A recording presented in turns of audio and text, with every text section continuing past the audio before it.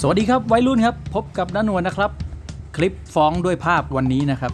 มาดูครับผลงานวันนี้กับปลาช่อนข้างทางนะครับ วันนี้น้านวลเลือกใช้อุปกรณ์นะครับ ก็เป็นคันเบ็ดเวท10 20 นะครับ ของ v b r a s นะครับ รุ่นอะไรวะซึบัสะเออซึบัสะนะครับ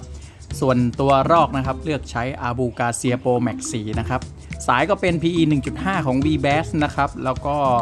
สายหน้า 30 ปอนด์นะครับของ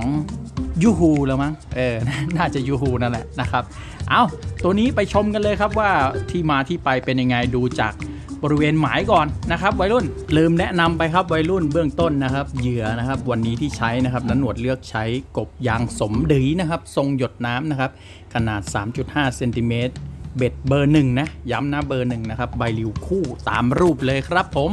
แล้วก็เดี๋ยวเราไปดูหมายกันครับ นี่เลยครับสภาพหมายนะครับที่ได้ผลงานตัวนี้มานะครับ ก็เป็นคลองหลอดนะครับ ข้างๆนานั่นเองนะครับ แต่ปัจจุบันเหมือนเขาปลูกถั่วเนี่ยไม่แน่ใจนะครับ ด้านขวาที่เป็นต้นกล้วยนะครับ ถัดไปก็จะเป็นนานั่นเองนะครับ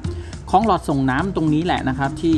ได้ผลงานตัวนี้มานะครับนันหนวดใช้วิธีการนะครับ ตีขึ้นพุ่มหญ้านะครับ แล้วก็ลากลงมานะครับ ช่วงแรก ๆ ตีไม่ถึงนะครับโอ้โหยืนไกลไปนะครับ แล้วก็ค่อยๆ ขยับขยับเข้ามาพอมันมีตัวเข้าเนี่ยนะครับนันหนวดก็เริ่มรู้แล้วโอเค มันจะอยู่มุมๆตรงนี้แหละนะครับ แล้วก็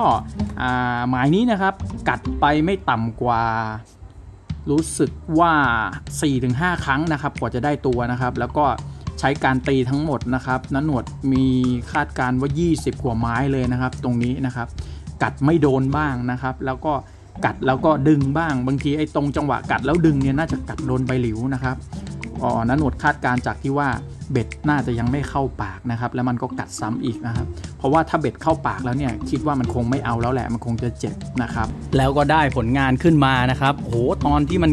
กัดเนี่ยนะครับไม้สุดท้ายเนี่ยที่ตีแล้วนันหนวดวัดเต็มแรงเลยนะครับโอ้โหตึงมือมากเลยนะครับ แล้วมันก็วิ่งเข้าป่าด้านข้างนะครับ พอมันวิ่งเข้าป่าด้านข้างเนี่ย เอาไม่ขึ้นแล้วนะครับโหหญ้าเต็มเลยนะครับนันวดเองก็ต้องเดินไปรับมันนะครับ ผลงานก็อย่างที่เห็นตามรูปเลยนะครับ โอ้โห กบยางสมดีของนันวดทำงานได้อย่างดีเยี่ยมนะครับ เข้าไปเต็มคอนะครับ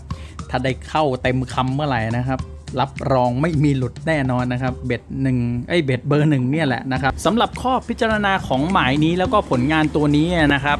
ข้อเสียของนันหนวดเองก็น่าจะเป็นจุดแรกที่นันหนวดยืนนะครับ ก็อาจจะยืนไกลไปนิดนึงนะครับ ลืมกะระยะว่าหวดเต็มแรงของนันหนวดเนี่ย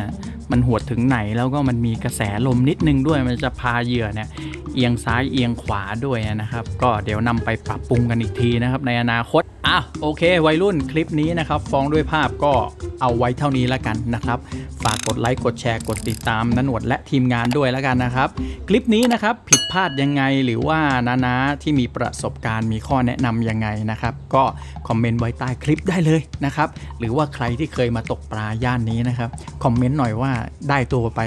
แบบไหนกันบ้างนะครับ เอาไป วันนี้ไปก่อนวัยรุ่นบายบาย ปูนปูน